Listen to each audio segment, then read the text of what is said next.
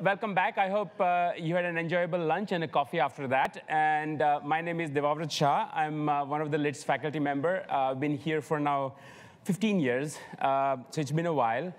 Uh, I'm going to host, be the, your host for the last session, transitions, last but not the least. Now, uh, when John assigned me transitions session, or at least to be the uh, to be the clock keeper, so to speak, for the transitions, I thought John used to be my friend, and you know he's still my great friend. Uh, because you know, uh, I looked at uh, the session that he assigned uh, to Sertac. He's got system optimization, control. I mean, he could have left learning for me, but well. Then I look at Yury my next door office mate, uh, you know, great guy, I love him, but he got communication, information theory, and even networks. I mean, networks he could have given me. TCP, I had some history there, but no. Comes Caroline. Now I can't complain. I mean, you know, I mean, otherwise uh, she's really nice and she's really bright and all that stuff. But she got all of that: data, inference, machine learning, and she being causal inference, she got causal inference too. And what I'm left with, transitions. All right, so let's see. Uh, then I say, okay, but John is a man of few words and a very wise man and a really nice guy and a great friend for me. So there must be something there. It's definitely not about moving to College of Computing. it's definitely not about me moving my Nespresso machine 10 years back at Paths Ahead to a nice Jura machine now. Definitely not about that. So what is it about? So I'm going to make multiple attempts. Hopefully, I'll arrive at the right answer. If not, my 10 minutes will be up and we'll move with the session. All right, so with that, first thing you do, especially when you're not a native, not a native trained English speaker, you go and look at Google, not now dictionary, but Google, because it's a dictionary. It says it's a process of changing from one state to another. It's a process of changing. It's not about destinations. Control, learning, they're destinations. they're not journey. And really, transitions is about journey. It's like, this is what John does. and uh, he's thinking about journey. It's not about reaching top, it's about going from bottom to top. So definitely, it made me think about this movie. And in case you have watched it, don't watch it. so definitely, that was a bad attempt to start with. All right, so let's, let's do something else. Uh, I said, aha. I came here in 2005 that's when my interview was in Building 35. That's where I met uh, Bob and Sanjoy and all the luminaries. And uh, then sort of when I started, we were in Building 32. That was the transition. And then sort of I was talking to Ramesh Johari, who's uh, uh, one of the LIDS alums, Stanford, and a great friend, same age. Uh, when he was in Stanford, and I said, well, why are they moving it? And he was explaining me this. it's effectively uh, a world-class feedback control, robust control folks. I mean, really, really, really bright theorist. But the way it worked is the following, and let me explain this picture. This picture is very, very important, okay? So there was a heating cooling system for entire building, entire building 35. LIDS was, of course, on few floors. As far as the, and then that pipe carried hot water, cold water, that kind of stuff, right? And there was a, next to that, there was a thermostat. It must have looked like that. Honeywell, you know, and it was sitting next to it.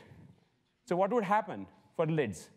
Well, it's winter, really, really cold outside. Hot water is going through the pipe. Sensor thinks it's really hot. Let's blow the air conditioning.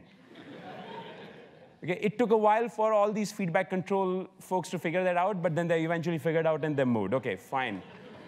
but then again, I thought, come on, I mean, yeah, I mean, that can't be the reason why John told me to do this. Let's try one more.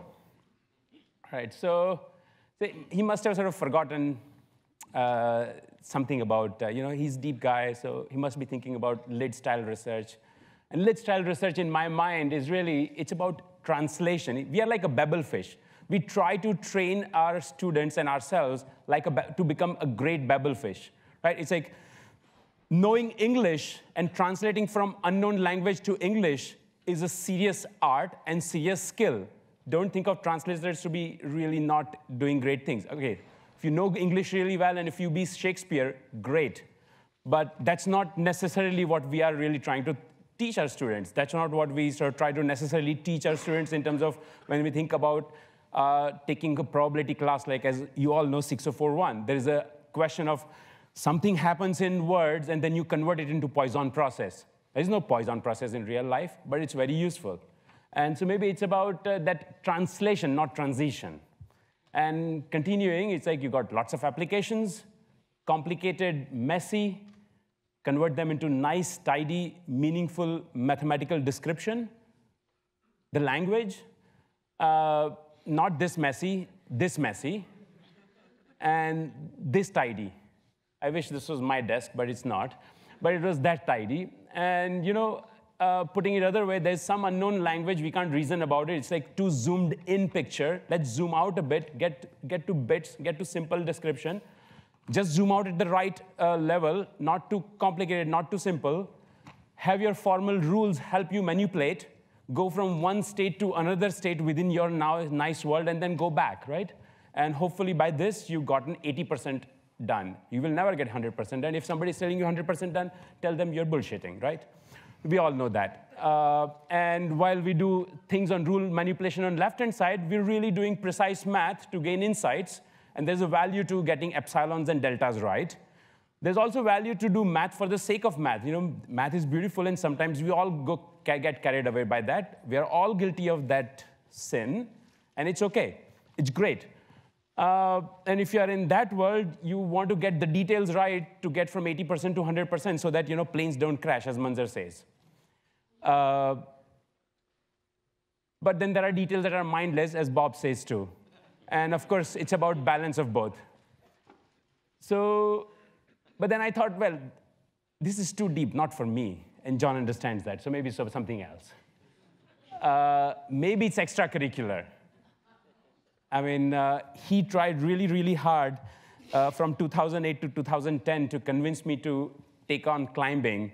And uh, I mean, he was so generous with his time and effort and help. But then I pulled a sort of a wild card on him, and then sort of he left me. But then sort of I looked at the luminaries, luminaries that we're honoring. And you know, uh, there's a great story about uh, Lids having um, a soccer event where Sanjoy shows up. And if I remember correctly, it was late 80s, early 90s. And Sanjoy shows up in the morning. It was Saturday. And in a beautifully crisp white iron clothes, just like, you know, a, a, a, a good cricketer would show up in a British cricket club. All right, well, that was well done. And then, as you heard from uh, our other luminary, uh, Alan, he's into tennis. I mean, he lost his tennis partner because of uh, Alpha Tech, but hey, you know what? He still likes tennis. We've all seen the beautiful pictures of uh, Dimitri. For example, one that I just uh, am in awe of is his uh, young granddaughter looking at this fish, and it's just brilliant picture. Uh, and there are many others. And then Bob told us about all the games uh, Burley defeated him. This is from and uh, uh, Dave, and Dave, like dear to me in the sense he was my squash partner for a long time, and he was not easy to defeat. Okay, so don't take him lightly. And uh, I can't accept that he defeated me because that will be terrible on me, but that was true. Okay, so maybe that was there, but maybe that's not what John wanted. So let's go back to the sort of the who is the honorary of the session. It's Sanjoy. So let's think about Sanjoy. Well, Sanjoy, if I look at his uh, work, I mean, started with control, and he will call himself control theorist, but if I look at uh, uh, at least a subsection of things I have looked at, I don't know what I would call him. Uh, someday he's a statistical physicist, someday he's actually doing uh, complexity, de-randomization, someday he's doing neuroscience, uh, communication, coding, optimization, and there are lots of things I've missed. So maybe it's about connections. Okay? Maybe it's about connection, maybe about transitioning between things. Okay? And then sort of I think about Sanjoy himself and my uh, time with Sanjoy, you know, he's been, uh, like every senior faculty member at LIDS, they have been just immensely generous for me. When I started at LIDS, since then, Sanjoy made a gesture.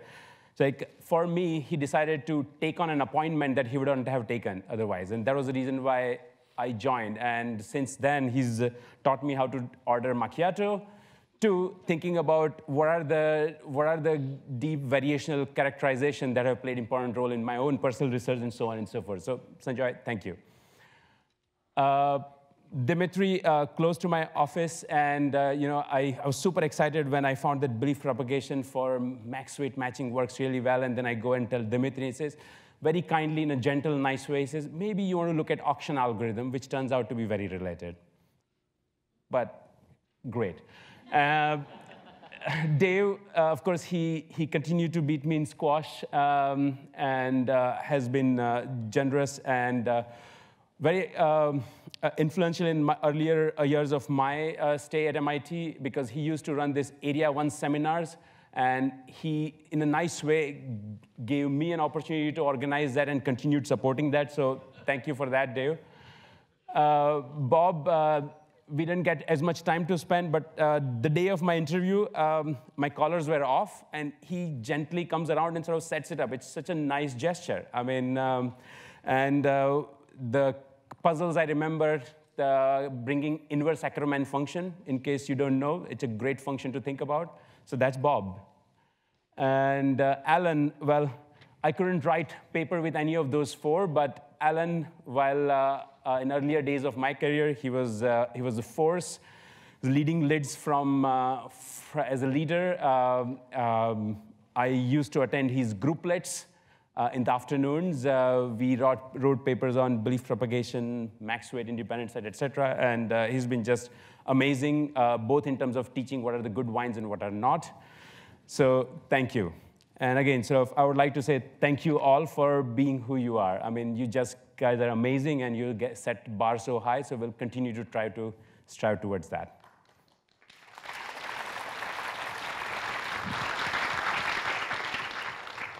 All right, I know my time is almost up. Uh, and so I think I've found the right meaning of transitions because now I look at uh, the speakers and the panelists who are going to come around. They are spanning different intellectual fields, so to speak, but uh, coming with the same core. So maybe that's what uh, John wanted me to think about uh, this as a panel. And with that, sort of, here is how the panel is going to go. First, I'm going to introduce uh, Tom in a minute, in 10 seconds. And then sort of we'll hear from Sanjoy, uh, then plenary from Emilio. After that, there'll be a coffee break, and then we'll come back for a panel. And that'll be the end of the day. All right, so with that, um, uh, let me take uh, 30 seconds introducing uh, Tom, Tom Richardson. So Tom Richardson uh, received his BSc and MSc in electrical engineering from Toronto, PhD from MIT in EECS under Sanjoy Mitter's um, uh, supervision. He's a member of uh, Math Research Center at Bell Labs, uh, left Bell Labs in 2002 uh, at the wireless startup Flarion, which, uh, where he was a, a, chief scientist. And the VP, uh, Flarion got acquired by Qualcomm, and that's where he is. Now, those are the, his career trajectory, but uh, he has uh, written, among other things, a beautiful book on uh, coding theory, modern coding theory, uh, that I enjoyed reading it about. Uh, he has won a uh, variety of awards, including IEEE Hamming Medal, uh, National Academy of Engineering, Koji Kobayashi, and list goes on. And I think with that, I should stop. Thank you. Right.